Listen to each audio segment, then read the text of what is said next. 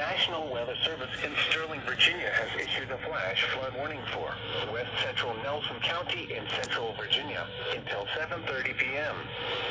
At 4.20 p.m., Doppler radar indicated thunderstorms producing heavy rain across the warned area.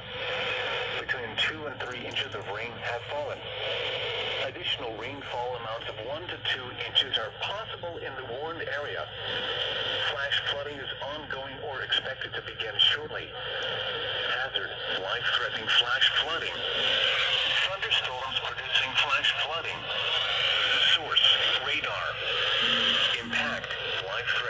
flash flooding of creeks and streams, urban areas, highways, streets, and underpasses.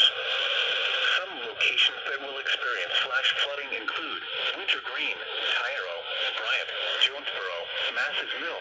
Turn around. Don't drown when encountering flooded roads. Most flood deaths occur in vehicles.